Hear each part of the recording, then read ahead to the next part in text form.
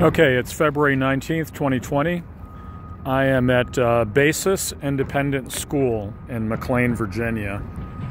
And I'm uh, here on behalf of JP Electrical Solutions, who does work for the school. And uh, we're looking right now at the parking lot lighting, uh, upgrading to LED.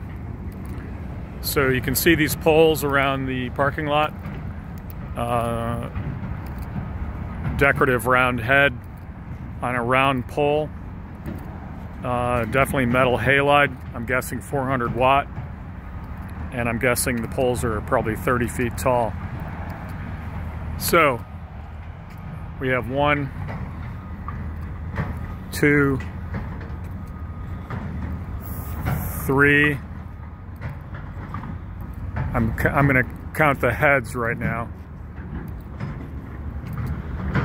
Well, three single set, three single setups here on this side.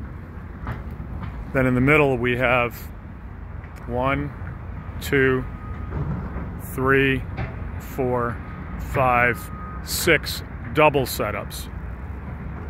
Two, four, six double setups. So that's what we have for the parking lot. And I'm gonna do a separate video for the drive lane.